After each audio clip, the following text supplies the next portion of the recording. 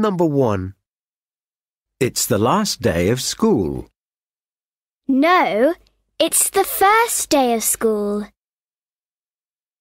Number 2. The children find a guitar and a geography book. No, the children find a recorder and a music book. Number 3. Oliver lives in Tiger Road.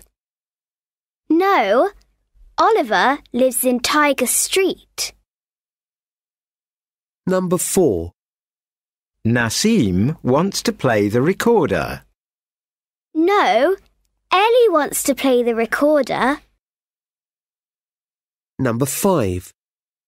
Claire is very good at history. No, Claire is very good at art.